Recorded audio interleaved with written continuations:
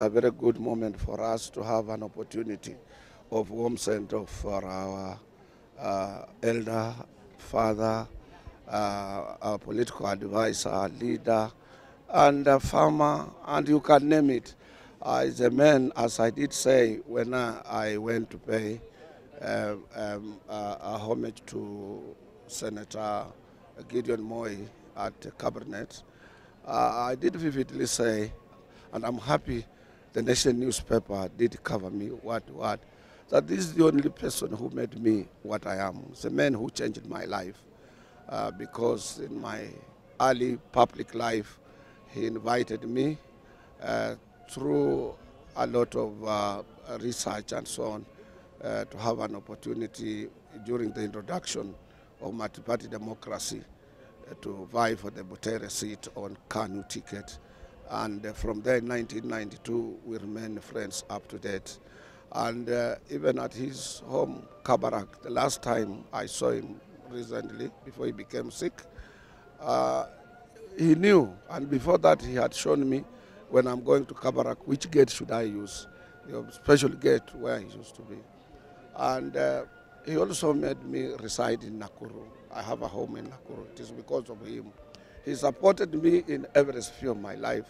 And uh, he gave me an advice that I will never forget. He's my really teacher, how to lead, how to handle even my enemies and so on. Because with him, he didn't see an enemy as an enemy. He could pray for his enemy to make him see what he's seeing or what he's not seeing in him. And he taught us about uh, love of one another. And also, he told us that uh, any assistance to man uh, is assistance to God. Service to man is service to God. Help to man is a help to God.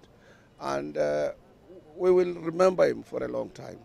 And he also changed the lives of so many Kenyans by participating into education activities personally, making sure that our girl child is well prepared for the future.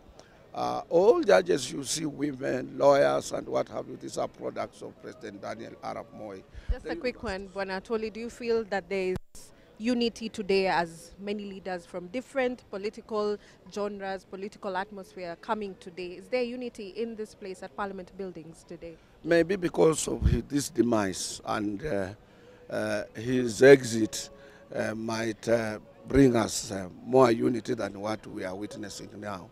But Kenyans, you know, are funny people. Even when they are quarreling, don't think they will fight. This has been with Kenyans for a long time. And this is because of him, because he preached um, issue related to love, uh, unity, and uh, how people should integrate uh, together and work together. He was for a cohesive nation.